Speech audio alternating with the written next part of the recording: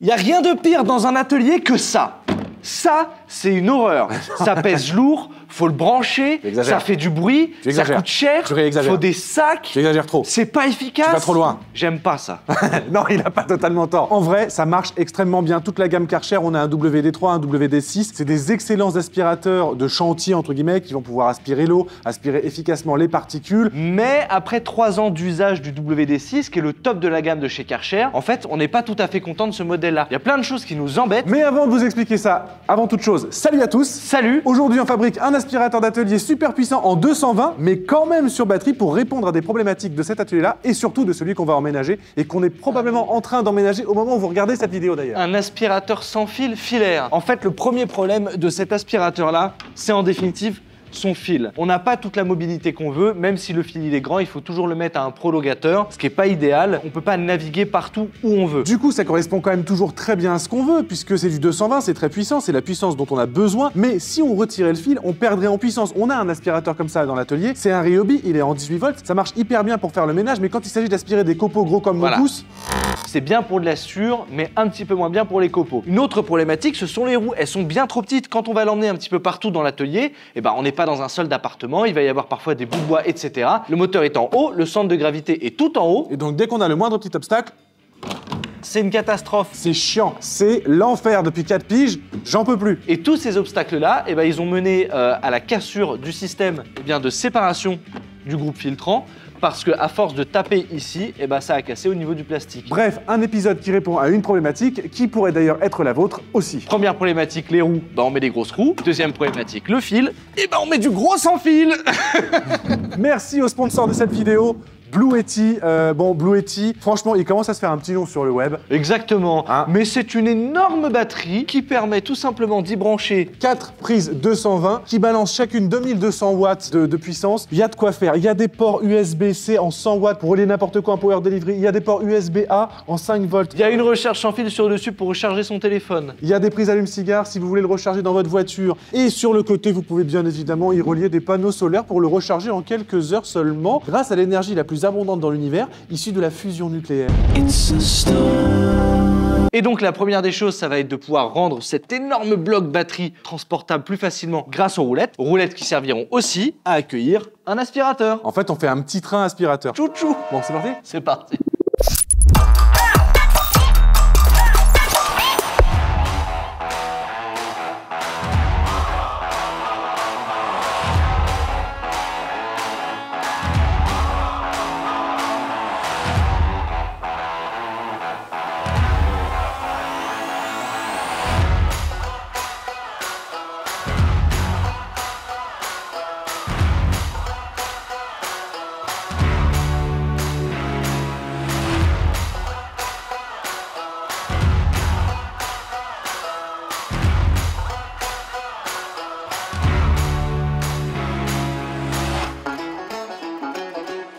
les amis, on a fait des petits tests, ils sont très concluants. On a hâte de vous donner les résultats de tout ça. La batterie qu'on vous a montré tout à l'heure, c'est euh, l'AC 200 Max qui permet d'atteindre une puissance de 2200 watts. Le Karcher WD6, il est noté pour une puissance de 1450 watts et c'est une puissance qu'on a pu vérifier à la fois sur le téléphone, sur l'écran de la batterie ou avec un wattmètre externe. Parce que c'est des batteries Bluetooth, hein, tant qu'à faire, autant avoir directement tout monitoré sur votre téléphone. Donc ça, c'est tant mieux, on arrive dans les limites de puissance, tout fonctionne bien, sauf que, eh bien, c'est un aspirateur qui est quand même très imposant et c'est une batterie qui permet certes d'avoir beaucoup mais qui est aussi relativement imposante. On a reçu aussi le modèle E EB70. Le modèle EB70, il est donné pour 716 Wh et une puissance délivrée de 1000 watts. On a fait le test avec le Karcher, évidemment, ça se met en protection et ça coupe le circuit alternatif. Ce qui est une bonne chose, ça veut dire que c'est protégé. On pourrait faire marcher le Karcher, il suffit de le mettre à 80% de la puissance, vous l'avez vu, il y a une petite jauge, aucun problème, il fonctionne à la perfection. Mais on s'est dit, vu qu'on allège vachement le workflow avec ça, autant l'alléger aussi avec l'aspi. Et donc là, on a un aspirateur Enel qui est euh, absolument tout neuf, qu'on a sorti de la boîte tout à l'heure, qui est noté pour 1250 watts, donc qui est censé dépasser les capacités de l'EB70. Sauf que quand on mesure sur l'écran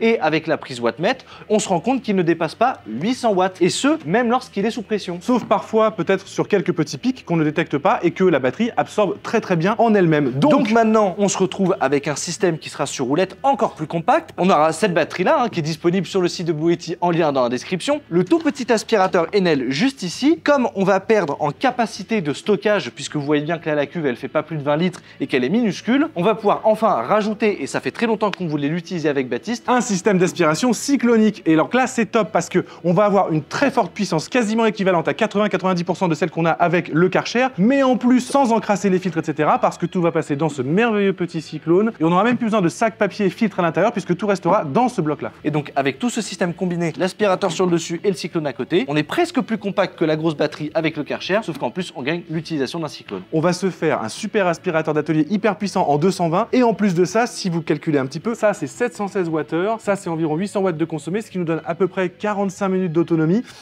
Un cool. aspirateur sans fil, pleine balle, avec 45 minutes d'autonomie, j'en connais pas sur le marché, à part celui des frères Poulain. Bah c'est parti. Allez, on met tout ça sur roulette.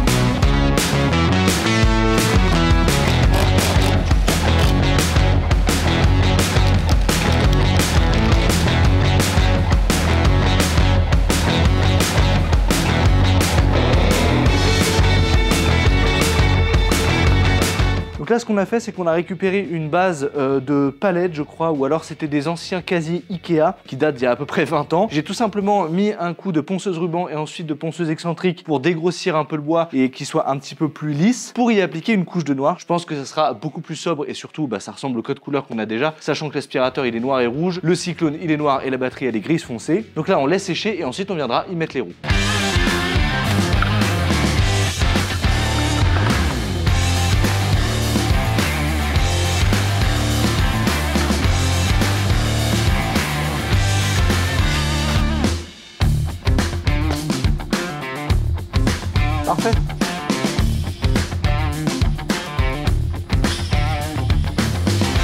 Ces roues-là, c'est l'affaire du siècle. C'est 1,99€ chez Action. Elles sont géantes, elles ont un frein, elles sont sur roulement. Honnêtement, pour des petits projets qui nécessitent pas forcément de la vraie manutention de plusieurs tonnes, c'est largement suffisant. C'est pas cher du tout. Il n'y a pas meilleur ailleurs. Je veux dire, euh, dans une grande surface de bricolage, j'aurais même pas osé acheter 4 roues de cette taille-là tellement ça aurait coûté cher au portefeuille.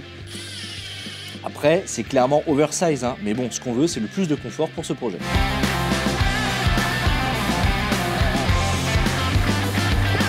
Bon, on va voir si la plateforme maintenant avec les grosses roues va mieux passer le passage que l'aspirateur. Oh, Bah voilà. dire. Oh, c'est magnifique ça. Et en plus, je fais 80 kg, donc vraiment, si ça passe avec moi, ça passera avec l'aspirateur. Non, mais j'ai bien compris que tu voulais plus de moi pour cet atelier. J'ai bien compris qu'on déménageait et que t'allais partir tout seul Ouais, dans tu ton coin. t'occupes de la SAS, ma man. Top. C'est bien. Bon, allez. Ah, je pourrais visser, ça aurait été pratique. Hop.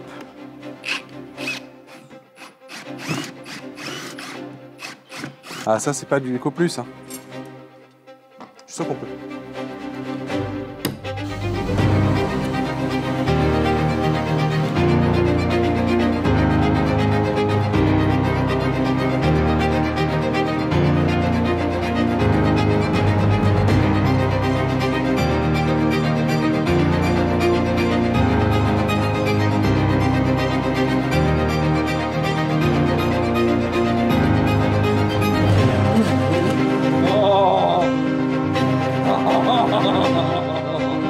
Donc ici, normalement, à cet emplacement-là, on doit y placer les roues qui sont fournies avec l'aspirateur. En définitive, tout ce qu'on a fait, c'est qu'on a élargi le trou et on a enfilé l'aspirateur sur les tiges filetées, un peu comme on avait fait avec le purificateur d'air. Et je peux vous dire, c'est impeccable. Et en plus, heureux hasard, normalement, la batterie passe pile poil en dessous. Et non. Bah, on n'a pas prévu la largeur de la tige filetée par rapport au trou, mais ça passait. Ça passait. Là, ça passait. En fait, c'est bombé. Ça passait. Oui, ça passe de ce côté-là. Ah, c'est passé. Presque.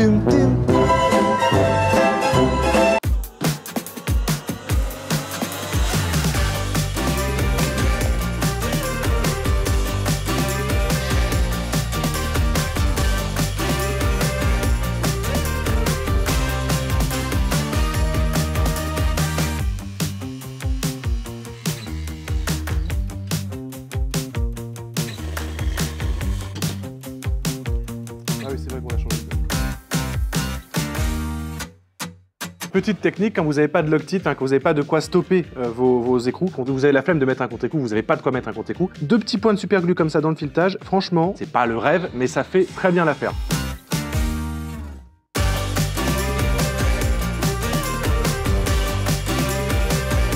Donc maintenant qu'on a coupé les tiges filetées à la bonne longueur, donc en fait la batterie elle est un petit peu bombée, sauf que là au niveau du panneau d'affichage etc c'est plat. Donc, quand on la place par le dessus comme ça, il n'y a aucun problème. On en a profité pour couper les tiges filetées. Il n'y a plus qu'à mettre l'aspirateur sur le dessus.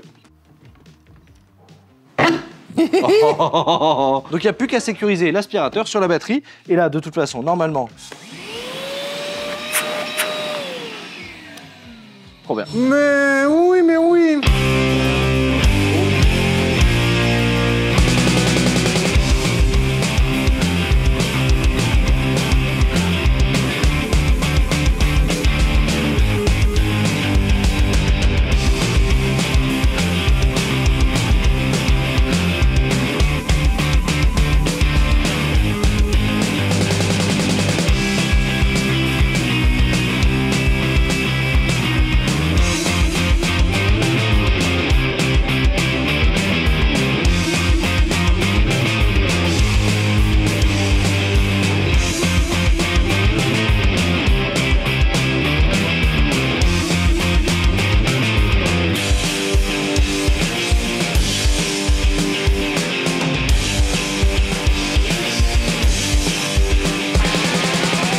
le bac du cyclone, on a encore utilisé les planches de récupération. Il nous restait du contreplaqué de 15 mm avec lequel on a pu faire une sorte d'encastrement dans lequel on peut mettre la cuve du cyclone avec deux petits trous sur les côtés pour y mettre une sangle. Et là, je peux vous dire, ça va être bien fixé. Surtout que c'est très important puisque c'est par ce côté-là que tout le mécanisme va être tracté puisque c'est au travers de ce capuchon qu'on va tirer tout le mécanisme et qu'on va attirer tout le système roulant. Bon, ça commence à avoir de la gueule, on commence à se projeter là. On a quelque chose de fonctionnel, il suffit juste de relier l'aspirateur au cyclone. Mais bon, vous connaissez les frères Poulain, même si c'est de la récupération et que ça reste un aspirateur d'atelier, on va quand même essayer de rendre ça un petit peu plus beau, notamment sur cette partie-là où on a les tiges filetées. En plus, elles sont dangereuses, on pourrait euh, se cogner dedans. Donc ce qu'on va faire, c'est imprimer des petits capuchons avant de relier le tout et on va utiliser la Wanao D12. hein. Comme toujours, on est rentré en contact avec eux en fin d'année. Vous avez tous les liens dans la description avec le lien de l'imprimante et du filament PLA qu'on utilise toujours. Donc là, on va sur Fusion 360, on modélise tout ça et on l'imprime.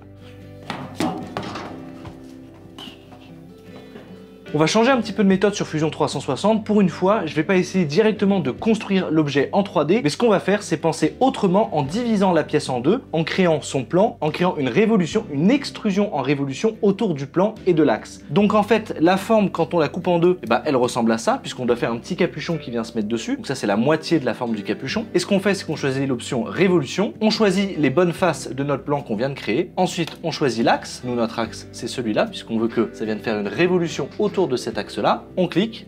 Et voilà, maintenant on a le capuchon qui a été créé en 3D à partir d'un demi-plan sur lequel on a effectué une extrusion en révolution. Et ensuite on se retrouve sur Prusa Slicer, donc là j'ai un capuchon mais on en a besoin de 4, donc je vais le dupliquer, tac tac tac. On a donc nos 4 capuchons et vous remarquerez peut-être que là en fait je suis sur le profil de la Ender 3, tout simplement parce qu'en utilisant le profil Ender 3 sur Prusa Slicer, eh bien on peut se permettre d'imprimer sur la D12 parce qu'elles ont beaucoup de similitudes. Et donc pour ajouter le profil sur Prusa Slicer, vous allez dans configuration, assistant de configuration, donc ça de toute façon, c'est l'assistant qui va s'ouvrir lors de votre première utilisation. Ensuite, vous choisissez dans Autre fabricant, vous choisissez Creality. Et enfin, dans Creality, vous prenez la Ender 3 ou la Ender 3 avec BL Touch si vous avez euh, l'auto-nivellement. Nous, c'est le cas, donc c'est le modèle qu'on a choisi. Vous arrivez à l'étape finale et maintenant, vous allez pouvoir imprimer avec le profil Ender 3 sur la Wanao D12.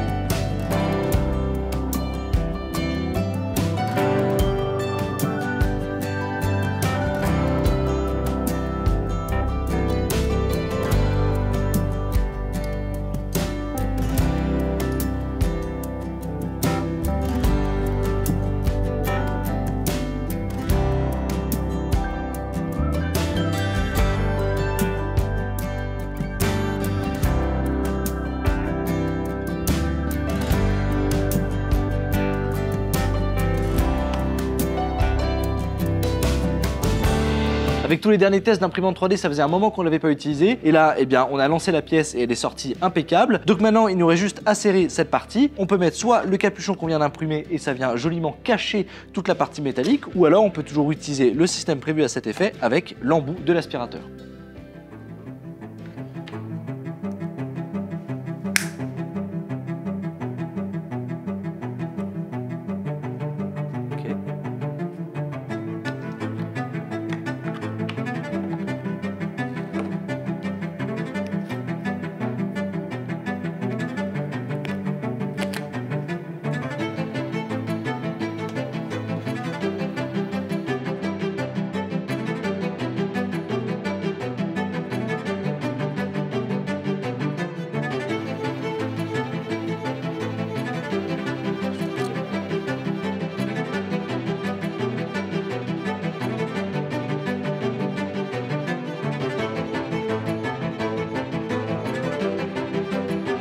Franchement, ce projet prouve qu'avec un tout petit peu de jugeote, on peut vraiment arriver à un résultat vraiment cool et très simplement. En plus, là, vous l'avez pas vu, mais nous, on l'a démarré un petit peu. Ça envoie du bois, les gars, je vous dis que ça. Je pense sincèrement que c'est quelque chose qu'en fait on aurait pu construire avant et qui aurait pu être très utile parce que ça, en définitive, avec la puissance qu'on développe, on peut très bien aussi le brancher sur nos machines d'atelier. Et là, comme le disait Baptiste, on va bientôt avoir le nouvel atelier et quand on aura les quelques centaines, 380 mètres carrés à aspirer, ça risque d'être très utile. Ouais, on n'a jamais vraiment voulu de grosses machines d'aspiration d'atelier, vous savez, celles que tout le monde connaît avec le gros sac énorme en plein milieu, marque Jet, ce que vous voulez, parce qu'on trouvait ça trop gros, trop encombrant, trop bruyant. Là, on a une solution tout en un qui va servir à la fois pour le ménage de tous les jours et pour les gros copeaux d'atelier. C'est vraiment idéal en termes de compacité et de praticité. C'est vraiment un aspirateur d'atelier filaire, un cyclone, le tout sur des grosses roues. C'est un sacré combiné. Et en plus de ça, c'est totalement réalisable même sans la batterie. En parlant de batterie, Et ben nous, on a décidé d'en faire un aspirateur filaire sans fil. Elles permettent d'avoir une large utilisation. On peut y relier des panneaux solaires, on peut y relier son sèche-cheveux, on peut y relier un aspirateur. Nous, c'est certain, vous allez les revoir sur la chaîne. Et on remercie Blue Yeti, sponsor de cette vidéo. Et vous avez tous les liens